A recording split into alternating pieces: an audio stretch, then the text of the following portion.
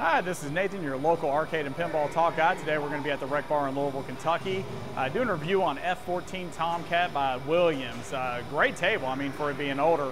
Uh, please look for a description underneath our review, uh, and we will go ahead and uh, start this review as well. Please look for uh, our Facebook, Instagram, and YouTube channels to like, follow, and subscribe, as well as uh, please take your time to, to watch our videos. I mean, obviously we're doing this for all the people that love pinball, uh, that, that, that love arcade, and uh, there's just not enough reviews out there of all the games that we love because it's so hard to get to these mechanical tables.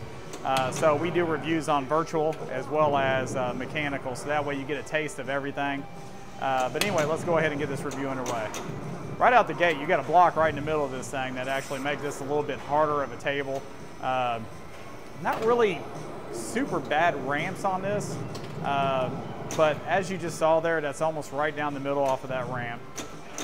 I do like the multiple layers of this game. You have uh, flippers to the top, so you have a little play area up there, and so that that that wins some brownie points with me. I love the soundtracks. I love the fact that you could have multiple levels of play on this game. Uh, so this is definitely a fun one. I could already tell. Uh, Theme, very good. Look at it. I mean, beautiful. Colors are great. Theme is great. There's really not a soundtrack to this, but you got missiles blowing up in the background, stuff of that nature.